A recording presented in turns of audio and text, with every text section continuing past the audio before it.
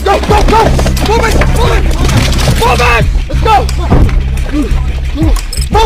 Get the car! Let's go. Let's go! This for you. Keep them count. I'm impressed. Now drive. Rule one, never change the deal. The deal was transportation for three men with a combined weight of 254 kilos. Yeah? Well, this is a new deal. An extra 80 kilos means we'll not make your destination on the gas I have allotted. So we'll stop and get more gas. Every stop we make exposes us. Every exposure increases the risk of getting caught. An extra 80 kilos means the Koni shock absorbers I installed for this job will not give us the ability to outmaneuver any police that might be chasing us. Which means, if there is a chase, we lose our advantage, which also increases the possibility of getting caught. I don't want to get caught.